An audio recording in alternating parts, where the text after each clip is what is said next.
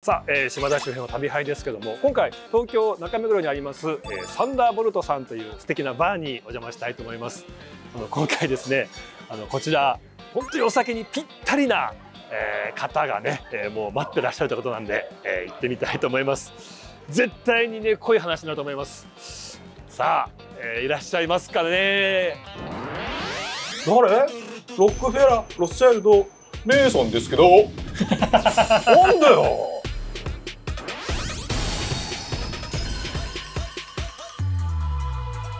お城を建てようとすると工務店たまるね。そうですね。なんとか工務店とかさ。もう決まってくるわけですよ。なるほどね。今のこのフリーメイソンっていうのは近代フリーメイソン、うん、あ違うんですか昔と。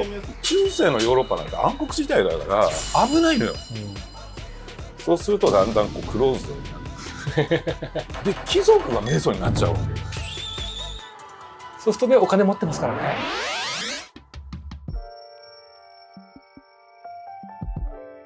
さあ、えー、島田周平の旅杯。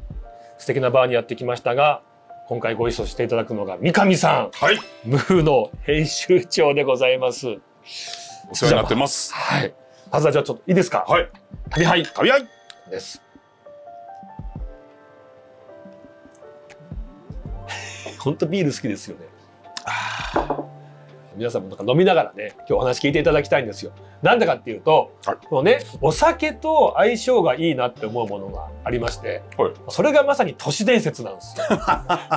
これ本当そう思いません、まあ、本来はね都市伝説とかっていうのは酒の魚ですよ。ってなるともうね何でも知って三上さんお酒飲みながらちょっと話をね聞いていきたいと思うんですけど、はい、まずやっぱフリーメイソンですよね。そうですねフリーメイソン、はい、まあ一般にこう秘密結社って言われてますけども、うん、まあ彼らにしてみるとフラタニティ。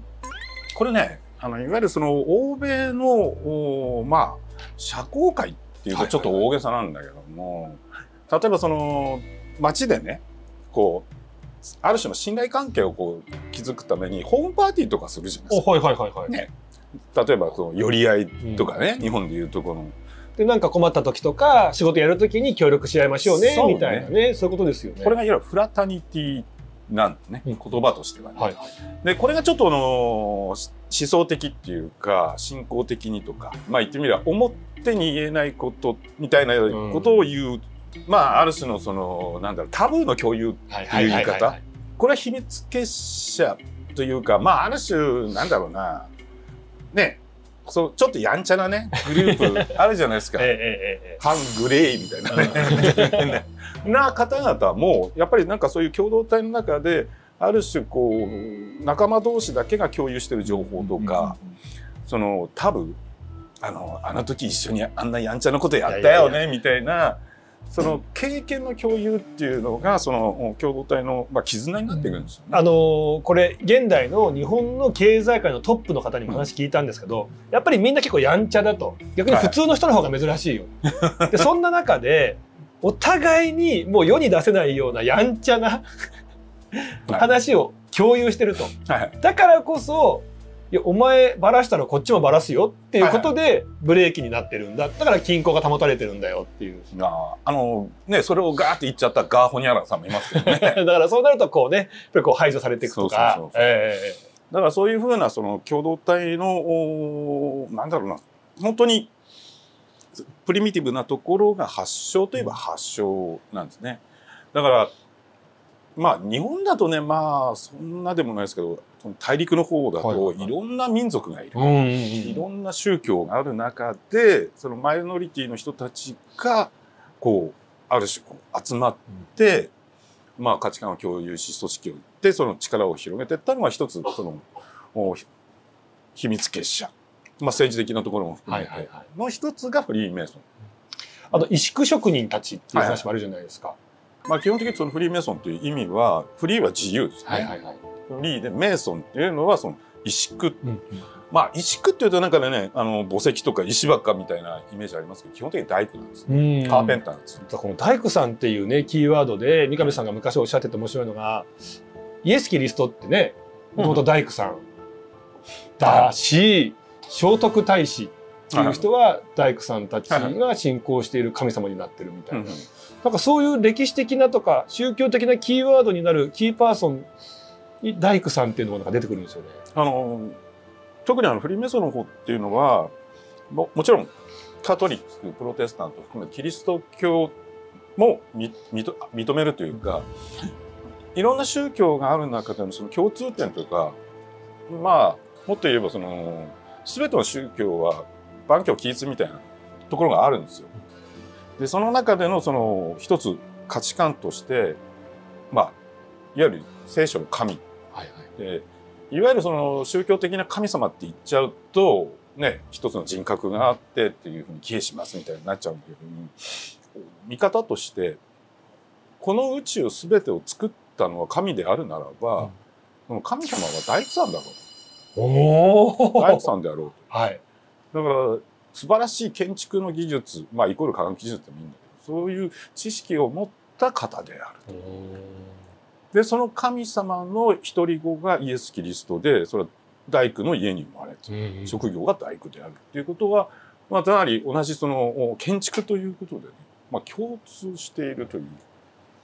でもともとそうやってまあ、特にねその秘密結社と言われるようなだから今現在ねなんかこう世界で裏でこう暗躍してんじゃないかみたいなふうに言われ出しちゃってますけど。あのいろんな見方というか説があって、まあ、特にあの今のこのフリーメイソンっていうのは近代フリーメイソン、うん、あ違うんですか近代フリーメイソンっていう言い方をします、ええ、フリーメイソンのルーツどこまで遡るのかっていうと大体13世紀14世紀ちょっと遡っても11世紀12世紀ぐらいまでなんですよ。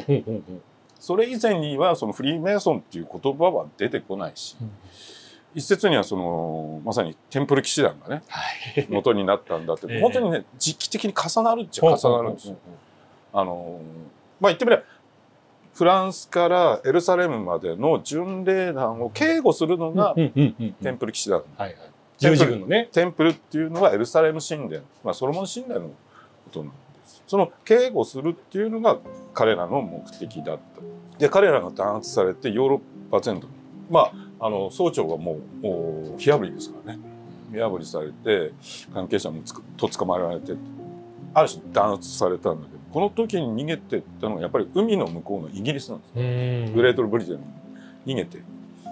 で、不思議なことに、その石工の組合っていうのはそのテンプル騎士団のあの頃もその前からもあるんだけども、はい、大陸の方での石工の組合っていうのがね廃れちゃうんだよね。でなぜかイギリスでこう生き残る、うん、生き残ってでそれがそのテンプル騎士団のその弾圧と時を同じくして瞑想が出てくる。その辺のそのタイミングっていうのは非常にあの興味深い。そうですね。だからあのイギリスのそのロスリン教会堂ってねあのダ・ヴィンチコードに出てくるような ちょっと変わったそのまさにテンプル騎士団のこうね祀ってるというかそういうふうなその痕跡っていうのがあって一つその不思議なのはなぜイギリスなんだろうっていううん、でメイソンがこう出てくる。で1717年にこれはロンドンですね、はい、でそれまでにもそのフリーメイソンってあってまあちっちゃいんですね。だからさっき言ったフラタニティみたいな組合みたいなちっちゃいのがあったんだけどその中の比較的大きなドロッチが集まって、うん、グランドロッチっていうのを結成した初めてですね、はい、1717年これのグランドロッチにしかもね居酒屋の2階っていうね。へえもうなんか焼き鳥屋の2階で作ったもうそんな感じなんですね。それが最初のグランドロッジでこの1717年をもって近代フリーメイソンの発祥というふうに位置づける、ただやっぱりその後もそうですけどやっぱりこう時の権力者とか名だたる方たちがメンバーなんだっていうね、うん、ことがこう公にされてみたいな。でこうあじゃあやっぱりみんなつながって、うん、みんなでそれやってんだとかっていうふうにこう噂されてくるわけですよね。これまず第一にそのフリーメイソンっていうのは基本的には石工なわけ、うん、石工いわゆる技術者なんだけどもだから正しくりゃ正しくはフリーアンアクセプテッドメイソンリーっていう承認された、うん、この承認って何や、はいはいはい、で仲間として承認されるってのあるんだけども一つはその技術的な実践的なまあ、ちゃんと建築ができる技術者としてのメイソンとそうでないメイソンいや思弁的な思想的な面です、これ建築ってすごいなんだろう。もう言ってみれば思想なんだよね、うん、面白い。考え方、はい。ええ、当然ながらその何かを建てる時にはその宗教的な神殿を建てるという,、で神殿となるとそれは宗教的なものも出てくるし。で装飾っていうのはやっぱその神々の世界を再現する当然ながら宗教的な思想的なものっていうのをちゃんと建築家の方が頭に入れないと、うん、もうできないわけ、はい、でもう一つは技術者っていうことはねそう簡単にこうねこの技術が身につくわけじゃないそうですね。ちゃんとね修行師匠について勉強して、うん、修行して一人前になるっていうことね、そうなると普通の人はねその慣れないわけですよ、うん、慣れない。で特にヨーロッパっていうのはそのエンクロージャーっていってその荘園みたいなものが特にあの神聖ローマ大国なんかねもう日本のね戦国時代みたいなのでいろんなちっちゃい国があってね。でお城を建てようとするとね現在もそうだけど工務店頼むね。そうですね。なんとか工務店とかさ。そうするとどこの王様もどこの国のもう決まってくるわけですよ。なるほどね。とすると彼らはそのその国に行ってそのお城は建てるけれどもその国の人間じゃないわけ。はいはいはいはい。エンクローズされたこの国に入るためには一応門があってねよそ者入れないってあるんだけども、うん、ただメイソンに関してはね業者だから「すいません」来ました」ってもうあどうぞどうぞ、ね、はい、でこの国のこうねお城を建てました。ね当然ながら王様貴族にこうねどういうものがいいですかこうですかあですかってね。ほら知るじゃん。はい。知るでしょ、ええ、内情内情ですよね。もうすごい秘密ですよね。うんね、それを知ったまま次の国ね、下手したらこの敵対してる国の次お城を作りに行く可能性もあるわけですよね。可能性じゃなくてやってんだよ。ってなるとこっちからしたらもう本当に城の中のね構造なんてもう最重要機密なわけで、うん、これが敵国に渡っちゃうかもしれない。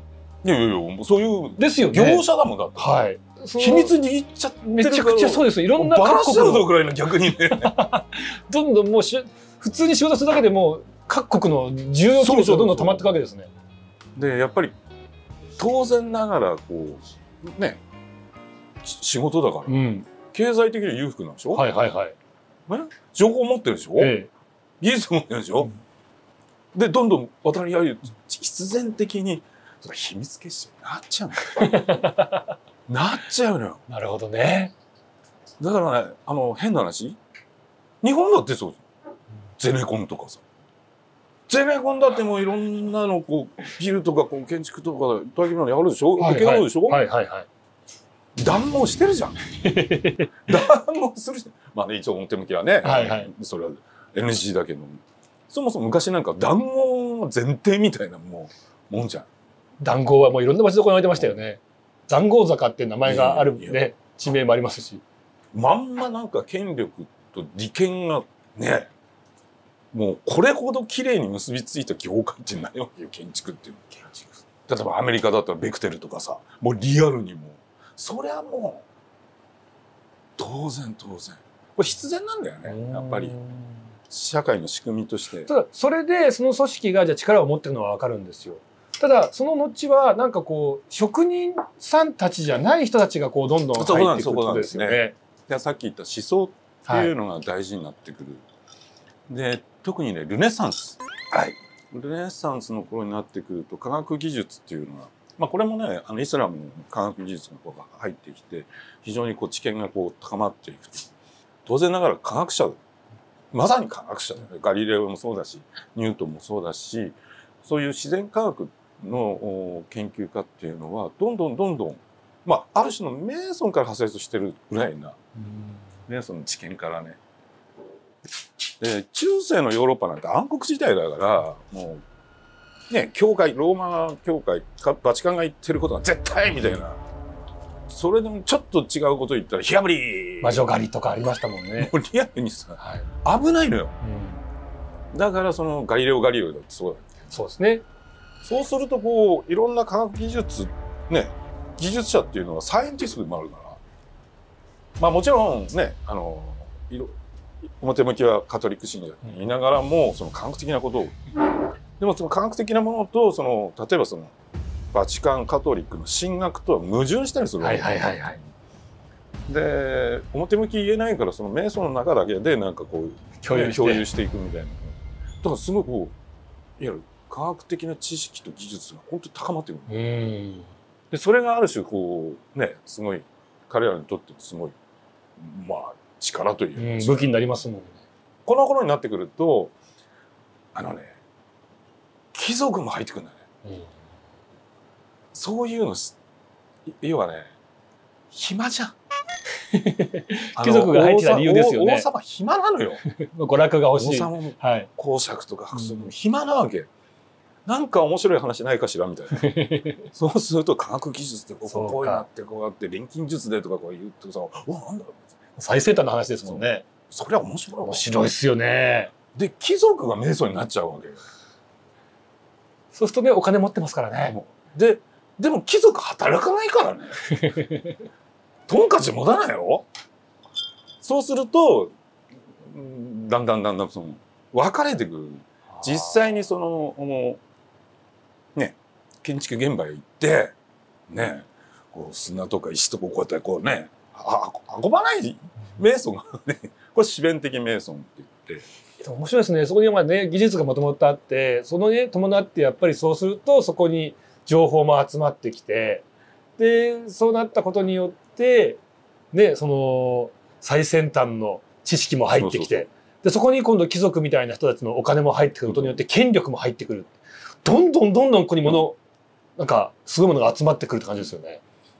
特にイギリスはね今でもそうだけどもあのケント公以結構な割合でメイソンメイソンですだからあの結果ねあの人もメイソンなんだあの人もメイソンだったんだってことになってくるわけですよね。